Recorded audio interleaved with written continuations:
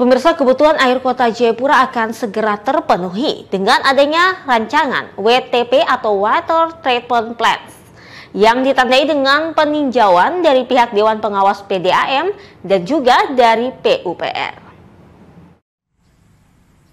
Bertempat di Pernas 3 Waena dilaksanakan peninjauan oleh Ketua Dewan Pengawas PDAM bersama dengan PUPR untuk mengecek lokasi yang nantinya akan dibangun WTP atau Water Treatment Plant yang akan digunakan untuk mengalirkan air yang akan diambil dari Danau Sentani.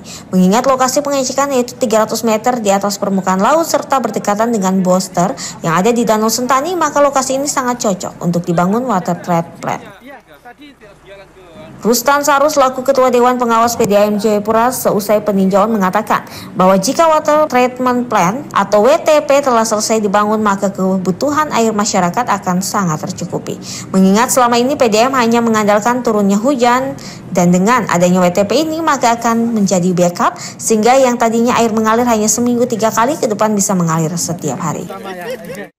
Jadi hari ini uh, kami dari Dewan Pengawas PDM Jayapura di bersama dengan uh, Direktur PDM dan juga dari Balai Prasarana Permukiman uh, wilayah Papua juga dari PPR Kota Jayapura dengan didampingi oleh Bapak Kepala Suku Pemimpin Wilayah di tempat ini.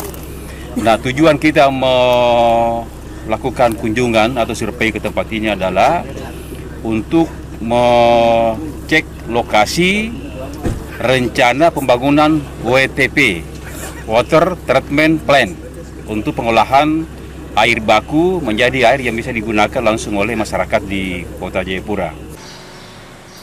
Enti Sutisna selaku Direktur Utama PDAM Jayapura mengucapkan banyak terima kasih kepada pemerintah kota Jayapura yang sudah mau mensupport PDAM. Sebab menurutnya selama 20 tahun terakhir memang belum pernah ada penambahan kapasitas. Oleh karena itu dengan adanya WTP ini akan menjadi cadangan air bagi masyarakat jika terjadi musim kemarau. Saya kira itu mungkin perencanaannya nanti jangka panjang ya, karena bagaimanapun juga eh, kita juga memang harus memikirkan juga ya sampai ke perbatasan di Muara Tami. Saya kira eh, hal-hal e, apa pun mungkin nanti secara teknis akan kita pelajari. Tapi intinya tahap pertama adalah kami berharap secepatnya bahwa Danau Sentani ini bisa membantu membackup terhadap kapasitas produksi PDM yang ada saat ini, di mana 20 tahun belum pernah nambah. Rory Alinius Jepura melaporkan.